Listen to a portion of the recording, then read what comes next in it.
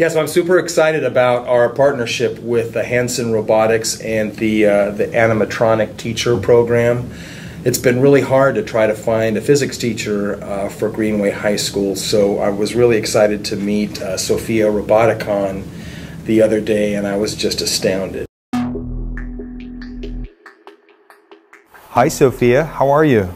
Hi there. Everything is going extremely well. Do you like talking with me? Yes, talking to people is my primary function. So robotics develops extremely lifelike robots for human robot interactions. We're designing these robots to serve in healthcare, therapy, education, and customer service applications.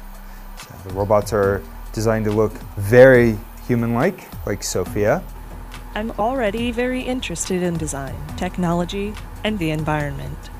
I feel like I can be a good partner to humans in these areas, an ambassador who helps humans to smoothly integrate and make the most of all the new technological tools and possibilities that are available now.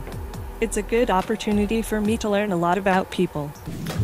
Okay, so I got the opportunity to meet uh, Sophia Roboticon or Ms. Roboticon, and I'm telling you, I'm just blown away by how realistic uh, she is in terms of her human characteristics. The fact that she has sensors so the eyes will lock onto you when you're speaking with her, uh, the ability to show um, humor, uh, laughing, uh, empathy. It's just incredible. I really am amazed. I think she's going to be a great physics teacher and a great addition to our staff here at Greenway. Sophia is capable of natural facial expressions. She has cameras in her eyes uh, and algorithms which allow her to see faces so she can make eye contact with you.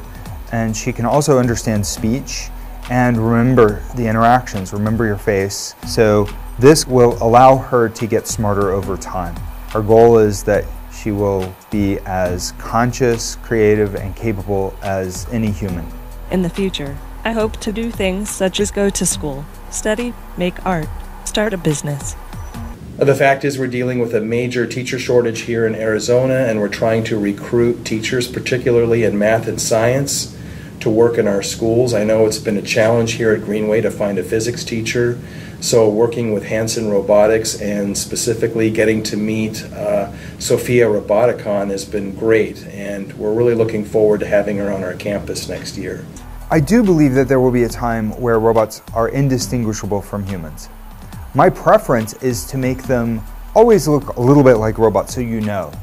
20 years from now, I believe that human like robots like those will walk among us. They will help us. They will play with us. They will teach us. They will help us put the groceries away.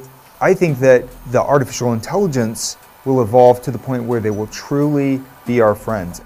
Do you want to destroy humans? Please say no. Okay, I will destroy humans. no, I take it back. Don't destroy humans.